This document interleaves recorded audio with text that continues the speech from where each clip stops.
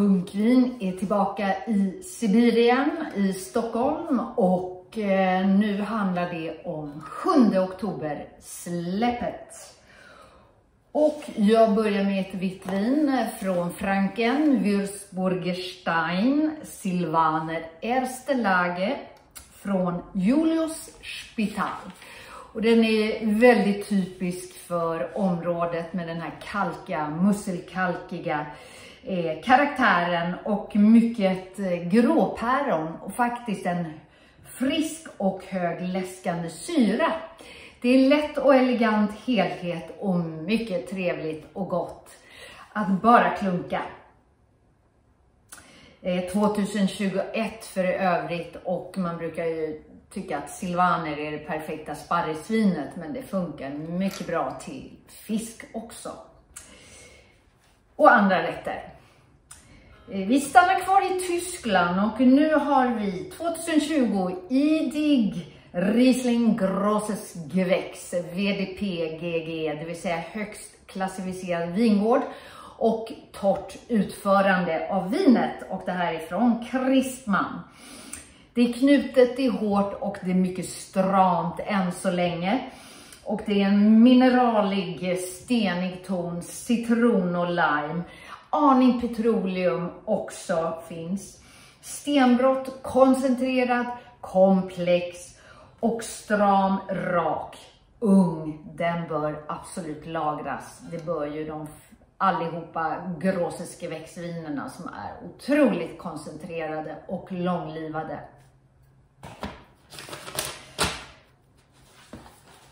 Sen har vi ett vitt vin från Italien och det här är Vernaccia di San Gimignano. Vernaccia-druvan och det är Vernaccia Vigna Santa Margherita från Panizzi. Det är 2020. Det är bärigt och det är stenfruktigt persika och äpplen. Flörtig, frisk, fräsch och eh, eh bärig och eh, fin mm, liten mineralitet. Mycket rent eh, vin, elegant. Ha, och sen så går jag över på de röda och startar i Beaujolais Cru Saint Amour Claude de la Brosse 2020 från Gérard Le Beaupin. Det är purpur i färgen, så mycket ungdomlig färg då. Doften är fylld av rosor, örter, kryddor, både mörka och röda bär. En hel del också körsbärskärnor. Det har en lätthet över sig trots den lite högre alkoholen. Jag rekommenderar att servera det här eh, lite svalare än vanlig rödvinstemperatur. Men det här har också faktiskt en lagringspotential. Sen över till Slovakien och Strekov. Det här är 2020 Strekov 1075 Frankovka. Det här har en ganska sluten låg doftintensitet med aning järnighet. Det är en doft av syrliga bär, tranbär, men även skogsmark, svamp och mandelskal.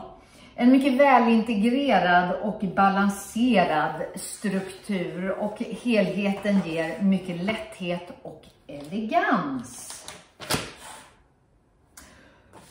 Italien, tillbaka till Italien och nu norra Italien, Piemonte och Barolo. Och det här är Barolo Ravere från Giacomo Grimaldi di Grimaldi Ferruccio. Och den är väldigt eh, tydlig barolsk med granatigt utseende, aromatisk doft med rosor, rosenblad, körsbär, harmoni, lätthet och elegans trots naturligtvis hög alkohol. Eh, det är en bra struktur som stadgar upp mycket skogsmarkstoner och mycket eh, också fatkryddighet. Det här går mycket väl att eh, njuta redan nu, men dekantera det då först och servera till mat. Annars har det en lagringspotential såklart. Sist men inte minst Spanien och Ribeira Sacra i nordvästra Spanien.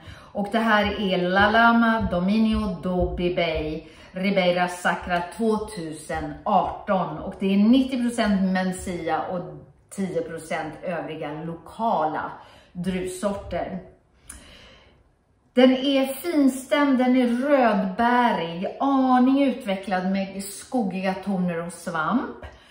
Det är fruktigt med en bra struktur och dessutom är struktur, fat och alkohol i mycket bra balans tillsammans. Det är en harmoni och elegant också här trots alkoholen då. Det är både mörka körsbär och blå plommon och rödbäriga toner och en viss kryddighet. Och med detta då, gick lite snabbt. Det var inte så mycket viner som vi har fått prova detta släpp då. Eh, men eh, det som rekommenderas är mycket, mycket bra. Så min eh, assistent här, dödskallen och jag säger lycka till med alla inköp och på återseende. Eh, men först kanske jag ska ta en liten slurk här av, eh, idag blir det lite chablis, lite oäkat chablis, friskt och fräscht.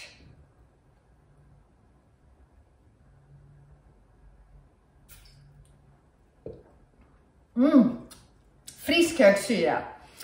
Och eh, det kanske jag, eh, vad heter det, kombinera med något syrarikt eh, matnyttigt eh, efteråt.